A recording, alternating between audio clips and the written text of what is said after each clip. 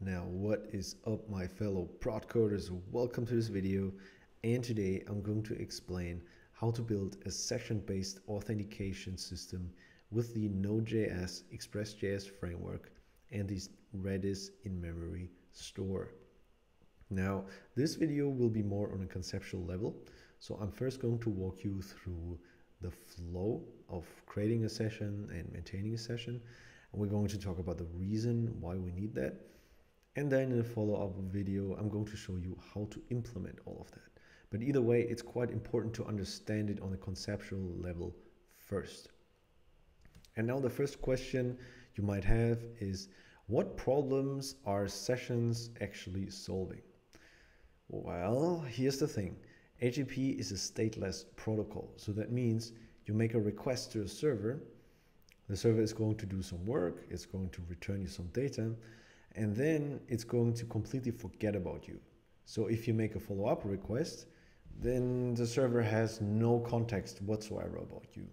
And this is really, really bad because we don't want to identify ourselves every single time that we're making a follow-up request to the server, right? This would be a huge waste of resource because then for every single follow-up request, we would need to send our credentials, the server would need to check it, the server would need to check if you have the proper roles and so on and so on. And um, this is kind of an issue, especially if you have a lot of users. And that's why there is the concept of sessions. So a session is user data that is temporarily stored on the server side. And uh, well, it's actually user data of currently active users. That would be more precise.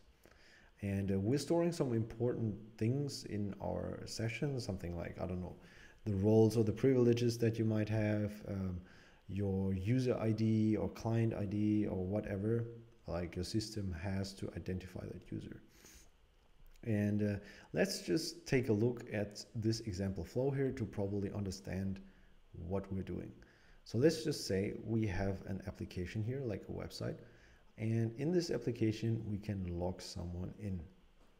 So the user will enter the email and the password, and then we're going to send this data to our server. And our server will now say, okay, someone is trying to log in. So I now need to check if that guy like entered the correct credentials. So we're going to reach out to some database, like some relational database or some NoSQL database, and we're going to fetch some information about this user. So we're going to uh, fetch some data and say, okay, does this user with this email even exist? Um, so we will fetch like, I don't know, the email, we're going to fetch the user's password hash and some other important information like roles, uh, privileges, um, preferred language uh, settings, these kind of things, you know. And um, one thing here to note is we never store passwords in clear text in our database because if someone manages to get into your database, then you have a complete leak of all data. And that's why we're only going to store the password hash. Okay, so we are fetching the password hash. Um, some user preferences like preferred language or whatever you might have in your application.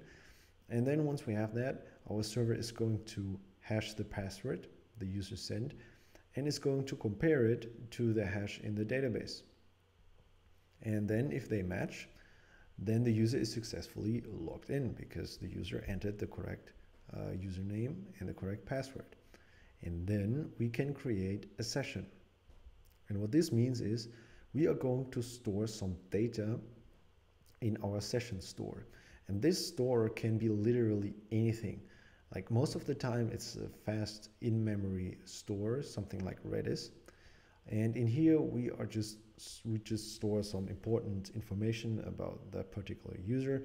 So, for example, roles or uh, preferred language, uh, things like that. And once we stored uh, everything in here, we are going to get a, we will get back a session ID. And this session ID then belongs to the user that is currently logged in. And uh, we are going to attach this session ID um, to a cookie, which we're going to send back.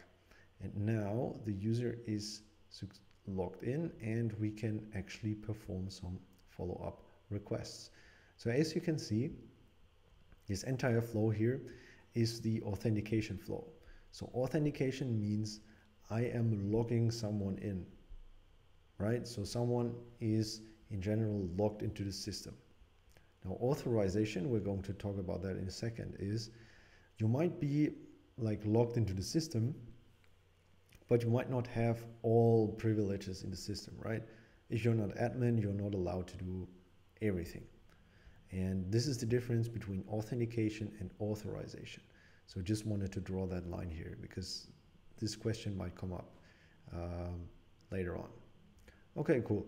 So now let's just say we want to fetch some data and we want to fetch some user specific data. So some, something like profile information. First name, last name, uh, date of birth, uh, address. You know, like sensitive data that not everyone is supposed to see. And the way this works is our browser makes a request to the server and our server is going to read the session ID from the cookie. So our browser will always send the cookie along, like to us back for every single follow-up request. This is basically what the cookie is designed for. And then we're going to read the session ID from the cookie and we're going to hit our session store and we're going to fish our session out of this database. And now you also know why you typically pick like a fast in-memory store, uh, simply because we need to fish out this session from our database and it is supposed to be fast, right? Because we want a fast uh, response time. Okay, so once we have the session out of our system, let's just assume uh, we have a session, then we can continue. If we don't find a session in our store, we will return an error, so that person is unauthorized. But if we have a session, then the next thing the server is going to do is it's going to check if you have the required privileges to perform the action that you want to perform, right? Because you can be logged in, but you might not have all privileges. And if you don't have all privileges, then even though you're logged in, the server will return an error. And otherwise, it's going to do the work or it's going to perform the operation. So it's probably going to fetch some data, like some profile information, address, first name, last name, these kind of things. And then it's going to return that data back to you and the browser can display this data. Yeah, so this is pretty much how sessions work. So you make a request, you log someone in, you store some data on the server side, and um, this data is then quickly retrieved for every single follow-up request. And like so, you don't have to do all this like work every single time uh, that a client makes a follow-up request because that would be a huge waste of resources. So that's more or less the general concept of sessions. And uh, now that it should be relatively clear, like what we're talking about. So if you still have any questions, uh, please let me know in the comments. You can also uh, send me a message. Uh, my Twitter handle is at productioncoder. And uh, please make sure to give the video a thumbs up if you liked it. And also, please don't forget to subscribe to the channel if you haven't already done so.